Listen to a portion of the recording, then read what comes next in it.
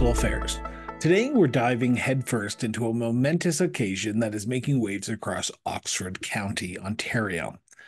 For the first time in history, all municipalities within Oxford County will proudly raise the rainbow hues of the Pride flag this June.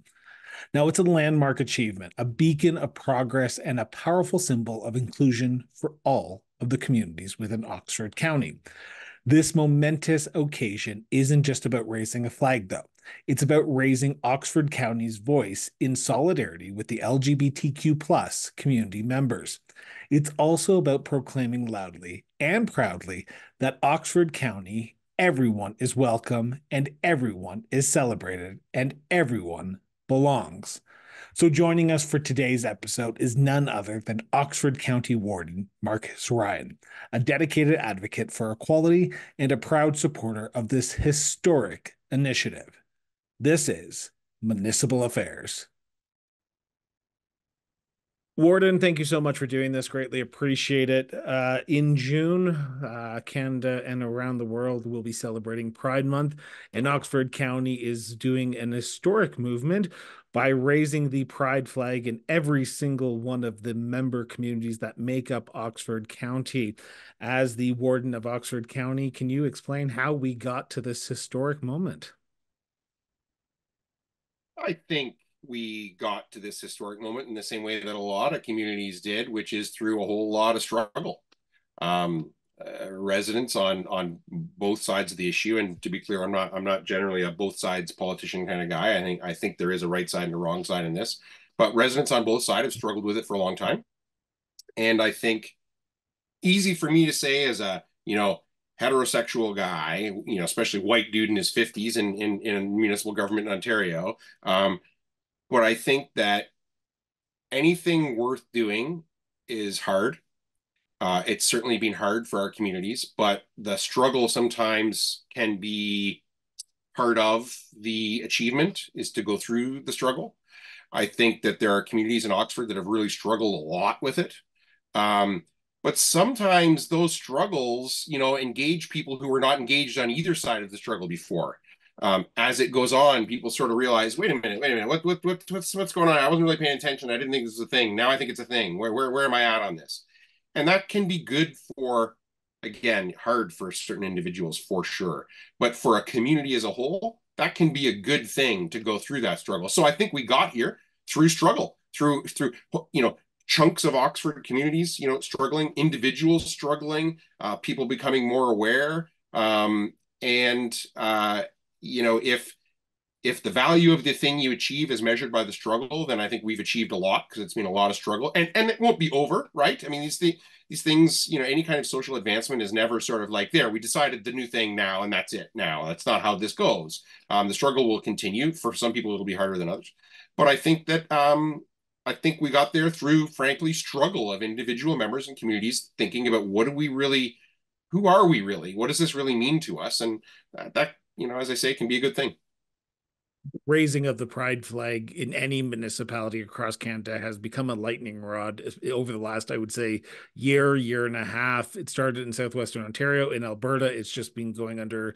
In Alberta, it's in Westlock County. In Westlock, the town of Westlock, it went through a plebiscite, which was mandated by the provincial government to do that. Even in New Brunswick, we're seeing the raising of a pride flag being very controversial at this time. You're right, progress does sort of have its challenges, but it needs to happen. Why you? Why why does Oxford County think that this is the right time to do this? Because you could have done it last year, you could have waited till next year when things might have died down. Why in 2024 is it important for you as the warden of Oxford County, but also every single member community of Oxford County to do this in solidarity with the LGBTQ2 plus movement? Well, to be clear, so, some communities, some area municipalities in Oxford have done it for years, right? Right. The, the county has done it for several years. The city of Woodstock, town of Ingersoll, um, have done it for years. Um, some communities uh, in their local councils debated it and decided not to do it. Um, Oxford County Pride did a lot of this work. Oxford County Pride did a lot of just going around and talking to individual counselors, going and talking to councils, uh, talking to communities, and explaining why. Um, and I think the answer to why now is is the bigger answer of why does this matter at all? I, I, I, for for me in government, I always try to back up as far as I can from an issue and start afresh, sort of like big picture, long term. What's this really mean to our community? And when I think about, I think, I think some of us in government, and and frankly, all kinds of citizens, residents forget democracy is kind of a deal, right? It's this implicit deal, which is we'll give up as citizens the right to decide everything for ourselves. We'll give that to a few select group of people. But part of that deal is that A, the select group of people who make the decisions, I'm privileged enough to be one of those people in my community, have to be transparent and accountable. And the people who are giving up that right to decide have to feel like they are represented in the few who are going to decide. Everything else that we do, whether it's you know plowing the snow off the road or providing a recreation park or whatever, is predicated on that deal being a legitimate deal right? That that residents feel like, no, it's legitimate. I don't agree with everything they did, but I feel like I was heard. I feel like I'm included, you know, uh, and I get to throw the bums out in four years if I don't like it, right? So to me, I back up and I say, so you know, the, the thing that a lot of people have said to me is, you know, why? Not a lot. Some people who oppose the pride flag have said to me is, but but why doesn't the Canadian flag that should represent all of us? Why doesn't it represent all of us? And I said, I 100% agree. It should represent all of us. I absolutely agree with you on that. And yet I have some people saying that they don't feel like it does. Why don't we ask them why they don't feel like the Canadian flag is enough? And why don't we not just ask it in a rhetorical way or an argumentative way? Why don't we ask them and actually just sit back and listen to that answer and understand that answer a little bit, right? And to me, when I hear that answer, I hear people saying, I don't feel like I'm included. I don't feel like my views and my perspective are equally considered uh, amongst all the other views in the community. And I say, well, if my right to decide on things for that person, their, the rate of tax rate, the services they get for a long-term care home or what, whatever the case may be, that diminishes my ability, my my mandate to to to govern, and that's not right. That's sort of like a first principle of democracy to me of representative democracy is does everybody feel like they're represented? If somebody says they're not feeling represented, we got to fix that first right? I mean, let's set aside all the other debates until everybody feels like they have a seat at the table, they have the right to have their voice heard. Uh, everything else waits until we get that right. So, to me, I think uh, Oxford County kind of went through that a little bit. Like, wait a minute, though, is it too much to ask to fly a certain kind of flag to say to people, no, no, you're included.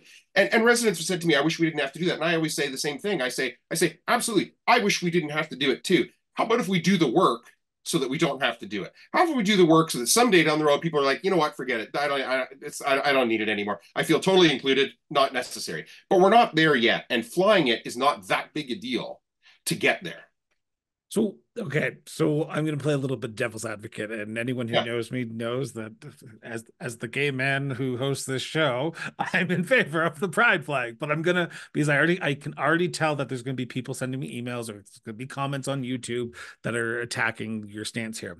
You're sure. right. There are people who will say the Canadian flag should represent what Canada is and who, it should encompass everyone. And I agree with your sentiment that some people don't feel that way and i completely would agree with that are you saying and i'm going to kind of poke the bear a little bit here so please attack me if you want. Yeah. Yeah. Are you saying that prior to oxford county raising this pride flag or these municipalities raising the pride flag the lgbtq2 plus canadians did not feel welcomed in oxford county? So I wouldn't presume to speak for that population. I, I know that there were individuals who have contacted me who said they did not feel that way. Um, okay. One stark example for me, this was a real, like, you know, for me, um, I generally, I'll take on provincial and federal politicians on issues that directly affect municipal governance. No problem there on policy issues. But I generally don't take them on individually. They were democratically elected. They're in a different level of government, not my farm, not my cows. They do their thing, I do my thing. We stay out of each other's way. Policy differences, let's talk about it. There was one where our then uh, Oxford MP, federal MP, who's not our MP anymore, uh, brought a petition to uh, Parliament. It was opposing the federal government's uh, ban on um, uh, conversion therapy. And he presented this petition. And that just I I just I could not I could not contain myself. So I I said on Twitter, I said, no, I tagged him. It was not a subtweet or anything. Tagged him and I said, like, I, this is not right. There are people in our community. This is if this is if this is you know this is an issue between you know individual people and if they want any kind of treatment, it's between them and their doctor. We we, we do not need to be involved in this. This is not right. This is sending a signal to residents. You know, whatever. And I usually don't do that. And I got exactly like you say, you're probably going to get on this, and people will come after me for my interview here. You know, people saying that. But I also heard in particular from one mother of a child who I had known since they were in elementary school, not the school that my kids went to, another school that I'd visited when I was on council. And this mother reached out to me and said, Thank you so much. I'm actually a little bit just telling you this now. She reached out and said, Thank you so much because my daughter's MP sent a, a petition saying somebody should be allowed to consider conversion therapy for her. And she was devastated that her elected representative said that should be allowed to happen. And then the next day, she said her mayor sent out a tweet saying, no, that's not right. And she felt like a million bucks again. And, and, you know, I thought, like, why should she have ever felt less than a million bucks? Like, this is, I know this kid, I'm not going to say much about what this kid did because people figure out who it is and, and the message was sent to me privately, but this is a great kid. This is a great family. Why should she have ever felt anything less than a million bucks? By any elected official to say to her, "Oh, you love the wrong person." That's not. That's not. Somebody should be able to fix that for. Like it's absurd. So, you know, do I know that the, the entire 2S, 2S LGBTQI community of Oxford didn't feel included? No. Do I know that some people, and that wasn't the only example, but that's the one that is the most uh, acute to me. Uh, do I know that some people felt not included? Absolutely. And that and and there's no reason for that whatsoever that they should not feel included. So, Pride, allies can go allies can raise flags which is great. It's a good first step for a lot of communities who are struggling to find ways to support the uh, lgbtq sorry I, I, always get it wrong and i do apologize the, the the lgbtq plus community. But it doesn't stop on june 30th though. And it doesn't start on june 1st it's something that is always working. You're always working what is oxford county doing on the other 11 months out of the year yeah. to ensure that the, this fr- pride flag across the county, which is a great first step, doesn't just become a one off thing and the support is there 12 months of the year, not just one month of the year.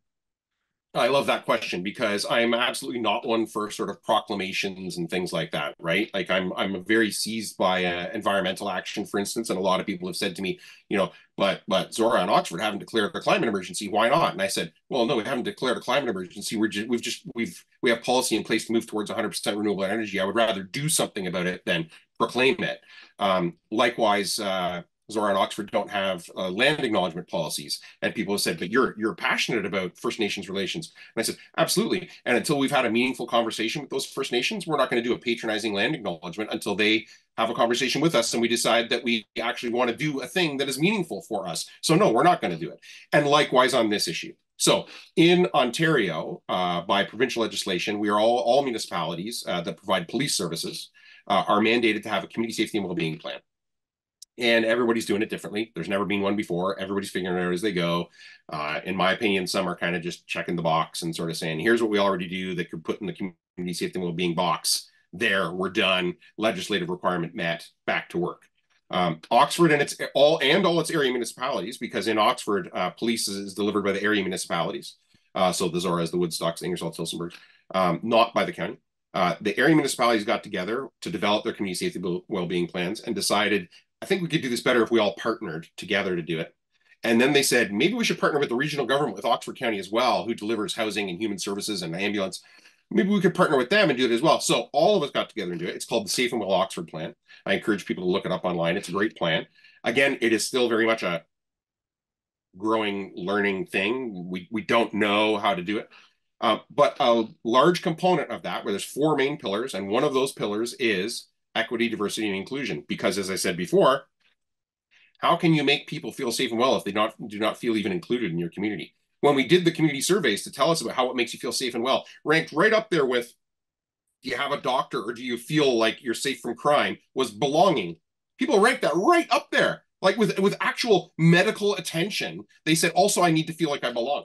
So to me, um, and to Oxford, to the Safe and Well Oxford plan, to all the Oxford area municipalities, that is now a fundamental part of how do we make people safe, feel safe and well. If people feel like they belong, then they will reach out to other community members for supports, whether it's an explicit export, uh, support that they need for a, a, mental health issue, or whether it's support for, you know, I think my neighbor knows that we have a same sex marriage and I think they're uncomfortable with it. What do I do about that? Like, either way, that has to be kind of addressed as a safe and well issue, as a community safety and well-being plan. So we're addressing that in Safe and Well steering committee meetings monthly. Uh, the Action Coalition on uh, Diversity, Equity, Inclusion is meeting uh, every other month to address that.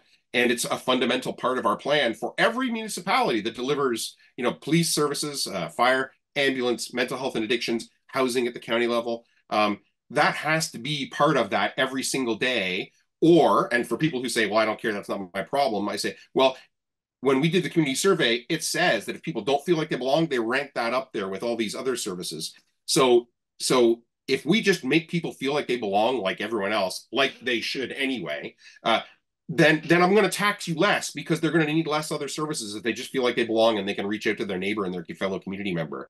And they're also going to be, you know, feel more enfranchised in voting for their local government. Maybe voter turnout will go up, you know this is a better thing for a community no matter what way you slice it. There's lots of people who live lots of different ways in all kinds of ways. People live in apartments people live in a farm work different jobs. We should not be judging each other based on how we choose to live our lives unless we're affecting how other people live their lives.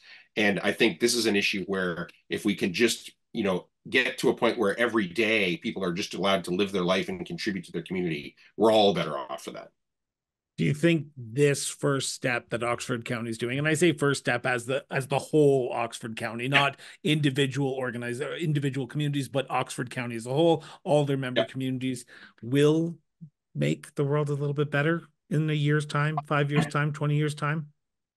Yeah, I guess I I, I always try and think of these things in terms of potential because when you're in government, you know, you, you, you govern four years at a time. Uh, nothing nothing really uh, really community changing happens like the or, or the effect the full effect doesn't happen within four years. You can make the decision but for that to flow through everything and really change your little corner of the world takes a long time. So i always try to think of it in terms of what does this policy decision or this action what potential does it give my community right? Because the other thing is i can stand up there as the mayor or the warden and say blah blah blah blah whatever. Um, that's fine. If if the 9,000 residents of Zorra, the 130,000 residents of Oxford don't don't buy into that vision, then it doesn't make any difference, right? Um, so I think of it in terms of potential. And I think that every community raising that flag on the same day is a signal of potential to our communities to say, you know, we can move forward in a constructive way. We can move forward in a way that says, let's just deal with this. Let, let, let's let's be a constructive community that has a vision where everybody is in fact included. Let's let's invest in that instead of the fight over that. Let's and, and I think there's so I think there's potential in it. That, And and honestly, um, for you know, to your question before about do I think that ever that, that, that the 2S LGBTQI community doesn't feel included in Oxford? I think there's a I hope I hope that there is a huge signal to those people, those people that um that that politically at least we want to put this behind us and say we would rather move forward with discussions about how we are all included than discussions about whether we are all included. I don't want to ask this question, but I think I have to. Are you prepared for the backlash that you might get by doing this?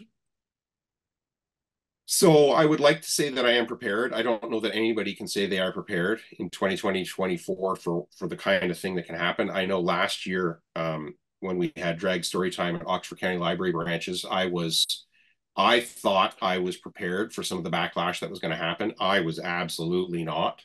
Uh, some of the things that I saw and heard at those libraries, um, they will stick in my memory until the day that I die. Um, at the Ingersoll branch of the Oxford County Library, there was a drag story time. I was inside, great event, kids, families, moms and dads all having a great time. Uh, when the event was over, we were literally sneaking children and families out the back door of the library. Now, why are you having to sneak children out of the back of a public library? Now, why it gets worse. While we were doing that, people who were protesting at the front realized we were sneaking them out the back door and moved around the back so that they could catch the kids sneaking out of the library and shout at them there. I I I, I never anticipated in my wildest dreams. I pictured people would show up and say, I don't think this should happen. I'm fine with it happening, but it shouldn't happen in a public space, whatever those arguments were going to be. Um, but I did not expect that people would go around the back to catch the kids and the families leaving. So I would like to say that I'm prepared for the backlash that'll happen this year. But I think that based on the backlash that I saw last year, I probably am not prepared for it. But that doesn't mean we don't do it. The, the struggle, you know, uh, as I said at the beginning, is the struggle. And if the destination is the place we need to be, then struggle we will. And I will tell you, my struggle that I experience as a 53 year old white dude uh, is insignificant compared to the struggle that some of my residents have. So, as awkward and uncomfortable as it is for me, it's nothing compared to what other people go through. So, if they can deal with that every day, surely I can deal with it for the month of June and then get back to the Safe and Well Oxford work for the other 11 months of the year and, and make it go away. So we have not mentioned the elephant in the room, and that is when is the pride flag being raised? What when? Because you said oh. it's all happening on the same date. I'm going to kind of put yeah. you on the spot here. It's so on May 31st. We're doing it a day early because June 1st is a is a Saturday a Saturday, and uh, we logistically we talked with Oxford Pride about it about you know what does it mean to have it on a Saturday as opposed to a Friday? Do we do it on the Monday, the, which would be June 3rd? And we settled out on let's do it on Friday, May 31st Fridays are always good. You know, for municipal staff, Fridays usually municipal councils, Fridays usually relatively quiet. So we thought we could probably maximize uh, participation and attendance if we do it on the Friday. So Friday, May 31st, there's a schedule that's available online at Oxford Pride where the flag is going to go up. It's going to start Oxford County Administration Building, and then it's going to move around the whole county. Um, hopefully, I'm hoping as many uh, elected officials in Oxford will go for the whole tour. I'm certainly going to go to every single one of them that day. I'm going to start off at Oxford County in the morning, raise that one, and then I'm going to go to every other one that day. Again, to your question before, part of it to me is the symbolism of every mayor going and doing this and sort of signaling to people like this is the decision that's it's being made. This is the path forward. Well, hopefully you'll be keeping us in the loop on social media because I always like to follow your your I would I was about to say Twitter, but it's now X account X. and see what's going on there. Um, but Warden, I want to thank you so much for doing this. And I want to end on this positive note. Why is this important to you? Not to Oxford County, not to you as mayor, but you as Marcus Ryan. Why is this important for you to show your support to this community? So, I mean, I I I try to really think when I'm at council, whatever the issue is, I try to think about individual people and what it's going to mean to to them. And i don't think i'm not talking about like retail politics like you know give you a grant for this or a discount on that fee or whatever but you know what does it do to the individual people in our communities when we change this policy or that policy whether it's about how we how we construct roads or deliver recreation services or whatever? And i know individual people who are members of the 2s lgbtqia community and the ones that I always think about when these debates come up are kids that I know, kids that my kids know. I have an 18 year old and a 14 year old. And they have friends that are members of the 2S LGBTQIA community. And they're really good kids. Like they're good people. Like they're teenagers that I am happy to have my kids as have have them as friends. Right. As as a parent, you know, that's always a worry for your kids your whole life is who are my kids hanging out with? Are they good kids? Are they a good influence? Are they good people? My kids have friends who are members of the 2S LGBTQIA community, and they're good people. As a parent, that's what you want is your kids to make good choices. And the number one choice they make is who are the other people that I hang out with? So then this debate comes along and it says, does it really matter? You know, should we fly that flag? Shouldn't everybody feel included? And I'm like, I know kids, children, the literal physical future of our community who feel worried about this. They they don't want people to know. The example I gave you before. They don't want people to know. And I'm like, why does that girl not want people to know who she is? She is a good kid. Everybody should know. Everybody should know who this kid is, who she fully is, because she's a good person. So to me, my motivation is I, I'm not going to do this job forever. I'm not going to, you know what I mean? The, the, I will not be the last mayor of Zorra or the last warden of Oxford County. Somebody's going to do this job after me. I hope that somebody comes along and does a better job than me. It could be somebody who's a member of the 2S LGBTQI community. That would be like, I don't care. Do the job. Do a better job than me. I don't care who you love, right? Just just contribute to your community. And I know people in our community who are part of that community who are good people, and I want them to be included. I don't want anybody to not feel that they can contribute or they're not considered. And especially when I think of kids, it just it just kills me that some of these kids would feel that they could not contribute as fully or participate as fully as they can. Warden, I want to thank you so much for taking time out of your busy schedule to do this. Um, for those who are listening and those who are watching, the links to the Warden's social media accounts are in the show notes, but also the link to the Oxford inclusion pay, uh, document is in the show notes as well. So I highly recommend you check that out. I will be doing that right afterwards because I think it's important to always learn and always, uh, in municipal government, it's never about just borrowing, it's about stealing the good from other municipalities. So let's steal it and let's make it our own. Um, Warden, thank you so much for doing this. Greatly appreciate it. Thank you, Chris. I, I really cannot speak highly enough of the coverage that you give to municipal government, which does not get nearly enough coverage, in my opinion. Um, you do great coverage. You talk to great people. You ask great questions. You challenge. As you said to me, I don't know if I should ask this, but I always say, ask away, fire away. It's my job to have answers. And, and if I don't have good enough answers, it's my job to be judged for not having them. So. Now, if today's episode sparked your interest, hit that subscribe button now. Stay in the loop with all our diverse content covering everything from municipal affairs to our in depth conversations with municipal leaders from across Canada on the cross border interviews or our eye opening exploration of local governance in the political trenches, local government at work. We're your go to platform for comprehensive municipal coverage, committed to keeping you well informed, as well as engaged on what the issues are across Canada. So, your support is the backbone of our growth and the maintenance of this top notch content you have come to enjoy. If you can, consider backing the show. Every contribution, big or small, amplifies the depth and the breadth of our programming. Find the support page link on the Cross Border Interviews website today. Until next time, stay informed, stay engaged, and most importantly, but as always, just keep talking.